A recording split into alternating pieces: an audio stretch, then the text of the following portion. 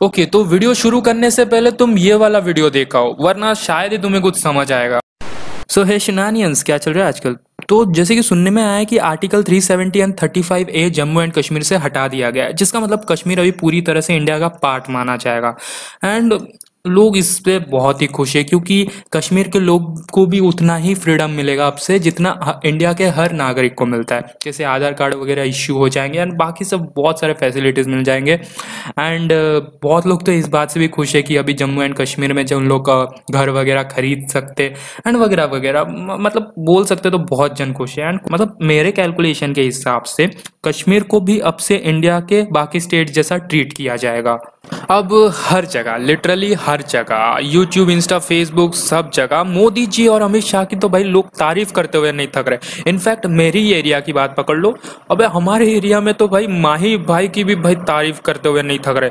Like हमारे धोनी भाई lucky है, जैसे ही आर्मी ज्वाइन किए, वैसे इतने सालों का जो काम नहीं कर पा रहे थे, सरकार अब कर दिखाया। लाइक सीरियसली भाई यार कुछ तो क्रेडिट दे दो इन दोनों को।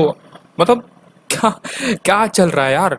अब सब कुछ सही चल रहा था लिटरली सब कुछ सही चल रहा था। एक दिन क्या हुआ मतलब एक दिन नहीं मतलब कल या परसों क्या हुआ, मैं घूमते घामते यूट्यूब के पास गया, शायद कुछ कंटेंट मिल जाए वीडियो बनाने के लिए। लेकिन तुम सोचो व्हाट अ कोइंसिडेंस मुझे क्या मिला? हमारे सनाज बास्केट वाले मैडम का वीडियो जो मुझे रिकमेंड कर रहा था, और बास्केट भी काहे का, मैं तो बोलूँगा भाई डस्टबिन है लिटरली डस्टबिन है, जहाँ पे तुम्हें सिर्फ़ कचरा मिलेगा। तुम्हें पता होगा, मैं हमेशा वीडियो के एंडिंग में बोलता हूँ कि मैं इससे हेट नहीं करता, मैं इसे हेट नहीं करता। लेकिन मैं खुद बोल रहा हूँ कि ये एक पहला चैनल है जिससे मैं सबसे ज़्यादा हेट करता हूँ। लिटरली मैं खुद हेट करता हूँ। मतलब यूट्यूब में एक ही चैनल है जिससे मैं हेट करता हूँ, वो और वो है ये। अब इस मैडम ने वीडियो बनाया, मुझे कोई तकलीफ़ नहीं भाई। तुम्हारा चैनल, तुम कुछ भी करो, मुझे क्या? बट इन मैडम ने क्या क्या? फिर से लोगों को भड़काने की कोशिश किया। लाइक मोदी जी को वापस से इन्वॉल्व किया, उस पुलवामा अटैक के बारे में वापस से बात किया गया एंड उस चीज़ के बारे में। जो कोल्ड वॉर टाइप छिड़ गई थी पाकिस्तान और इंडिया के बीच में, वापस से उस चीज़ को उखाड़ा गया। लाइक वही गड़े हुए मुर्दे को उखाड़ने की कोशिश किया, जो चिंगारी आहिस्ते आहिस्ते बुझ रही थी, उसमें पेट्रोल डालने की कोशिश कर रही थी मैडम।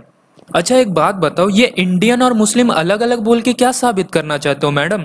एक तो रद्दी भर का नॉलेज तुमको है नहीं, और ज्ञान ऐसे फैलेंगे जैसे आइसक न्यूटन और अल्बर्ट आइंस्टाइन का ट्यूशन टीचर हो। और मुझे एक बात बताओ, ये क्या लगा रखा है बे? मोदी ने इसको मरवाया, मोदी जी ने इसको मरवाया बॉम्ब ब्लास्ट में हमारे मुस्लिम भाई बहनों को मरवाया। हिंदू हो या मुस्लिम, सारे इंडियन है। और कौन बेवकूफ़ प्राइम मिनिस्टर होगा जो खुद के ही लोगों को मारेगा? और सबसे पहली बात तुम होते कौन हो यार? हमारे लोगों की आज़ादी के बारे में बात करने वाले। अब कुछ इंडियंस है जो मोदी जी से थोड़े खफा है, नाराज़ है। कॉज दैट नोटबंदी एंड जीएसटी एंड ऑल ठीक है यार, जायज़ है, बनता है। अब इसका मतलब ये नहीं कि उन लोग इस बात से एग्री करेंगे कि मोदी जी ने हमारे लोगों को मारा है, ठीक है ना? तुम लोग हमारी ही बॉलीवुड मूवीज़ देख के हमें उसके कहानी सुनाओगे तो ऐसा थोड़ी ना चलता है। हमारे इंडियन जनता पागल थोड़ी है जो ये सब बातें को एग्री कर देंगे। और तुम तो पाकिस्तानी हो ना तो पाकिस्तान में रहो ना। आई एम सॉरी तुम तो पाकिस्तान में रहती नहीं हो। पुर्तगाल में रहती हो ना? हाँ पुर्तगाल में रहो ना। फिर ये सब चीज़ों में टांग क्यों उड़ा रही हो? देखो, हमारे इंडिया में ना, हिंदू हो, मुसलमान हो या फिर क्रिश्चियन हो, सब इंडियन है। हमारे लोग है, हमारा फैमिली मैटर है। अगर एक मुस्लिम मरता है तो दस हिंदू भी मरते हैं। और ये सब देखने के लिए हमारा सरकार है, हमारा ऑर्गेनाइजेशन है एंड हमारे कम्युनिटी भी है। तो ये सब देखने के लिए हम है। ठीक है तो तुम प्लीज़ इस चीज़ों में टांग ना अड़ाओ तो ही अच्छा होगा। देखो, हमारा देश वर्ल्ड सेकंड पॉपुलेटेड कंट्री माना जाता है। अगर यहाँ पे किसी के साथ कुछ गलत ट्रीट होता है ना तो वो बात पूरे इंटरनेशनल मीडिया तक पहुँचता है, क्योंकि हमारा सोशल मीडिया ही इतना स्ट्रांग है। एक चीज़ मैंने हमेशा नोटिस करी है कि अगर कोई टेररिस्ट अटैक होता है बॉम्ब ब्लास्ट होता है हमारे देशों में लाइक हज़ारों लोगों की जान चली जाती है बेगुना बच्चों की, यार तभी तो तुम लोग कहीं नहीं दिखाई देते हो। एंड अगर अगर सोचो इनके कान में भनक तक पड़ गई कि एक इंडियन मुस्लिम की जान चली गई उसमें से तो भाई झंडा उठा के आ जाएँगे कि तुमने हमारे मुस्लिम भाई बहनों को मारा है। मोदी ने ये करवाया, मोदी ने वो करवाया वी वांट जस्टिस है? ये क्या बात हुई यार?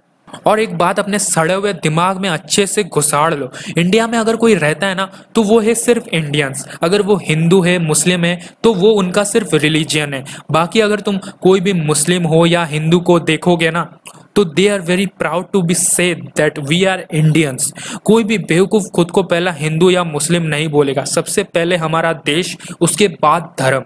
और तुम ये जो हमारे मुस्लिम भाई बहनों को भड़काने की कोशिश कर रहे हो ना, एक बात समझ लो, तुम ये बहुत ही गलत कर रहे हो। और रही बात आर्टिकल 370 एंड 35 ए की तो ये सही हुआ कि गलत?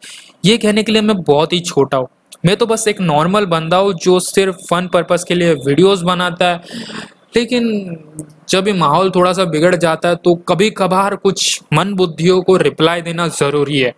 तो एंड तक यही कहना चाहता हूँ इंडियन हिंदू हो या चाहे वो इंडियन मुस्लिम सारे इंडियंस है।